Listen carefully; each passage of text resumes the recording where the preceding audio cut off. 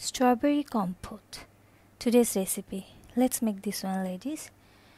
I took three small box full of strawberries wash it and then we'll slice it up.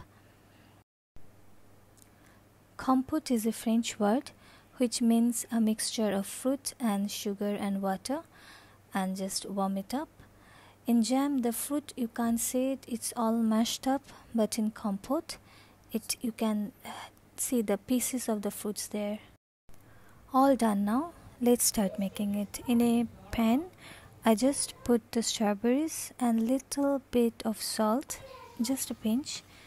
And in a very slow heat I'm just trying to make the water from the strawberry come out and to cook the strawberry in its own water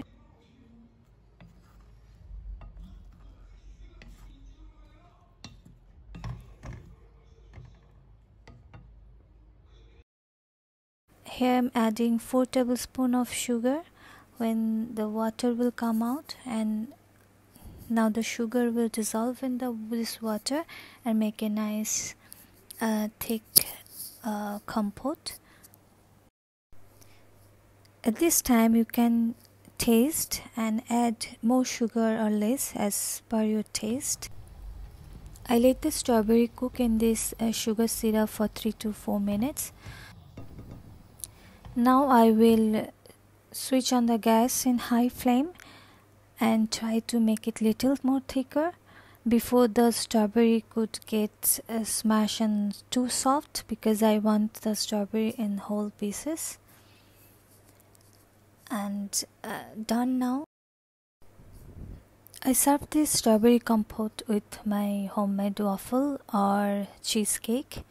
It tastes very nice I do keep this in fridge for 5 to 7 days. You shouldn't keep it more than that because there is no preservative or anything chemical. So enjoy it. Have a lovely mother's day ladies. And when I was preparing for the strawberry my son oh, made this one which he learned yesterday. And it was very tasty. Wait. okay see you at the next video. Bye